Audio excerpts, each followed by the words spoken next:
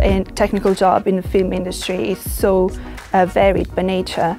Um, it kind of feels like every day we're doing a different job. I think there's a perception that uh, technical skills don't necessarily meet creativity, whereas I don't think that's true at all for programming. Um, programming can be really creative, it's all about problem solving. I'm Ilaria, um, I work for Double Negative uh, Visual Effects. I develop tools for the artists so that they're able to do their everyday job. My name's Josh. We're coding for artist tools, so you're always having something creative in the mindset in terms of the users. The end product is a film, so it's a visual medium, uh, which is really exciting. I did not think that the film industry would be an actual option for engineering before actually starting to work here.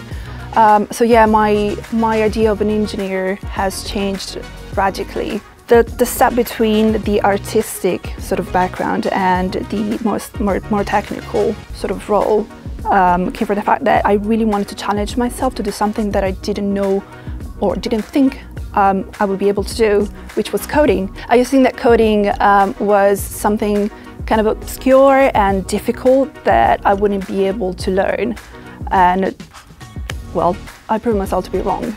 I would say to someone younger than me, if they want to work in the film industry, it's definitely something that's possible. It's such an awesome opportunity that if you love film and if you love technology and if you love creativity, uh, to realise that that is something that you can do. Being in the industry for a couple of years now, I noticed that so many companies are looking for people with computer, um, computer engineering backgrounds and it gives you that sort of freedom uh, that you don't get anywhere else. I think the perception of what constitutes engineering has changed a lot over time. It's people realizing that technology is a really creative industry. If I'd realized that it was a possibility when I was a kid, I would have started much younger, I think. Um, just tinkering with things and messing about with computer. I'm super proud to be part of Double Negative, um, which is one of the leading companies in the visual effects industry that has uh, produced visual effects that have been recognized in the BAFTA.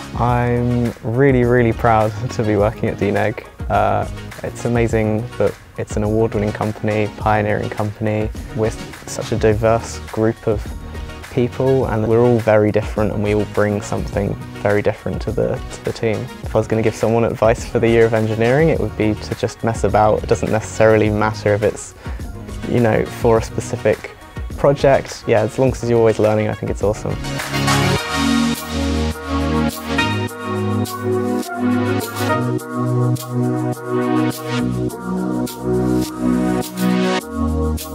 Thank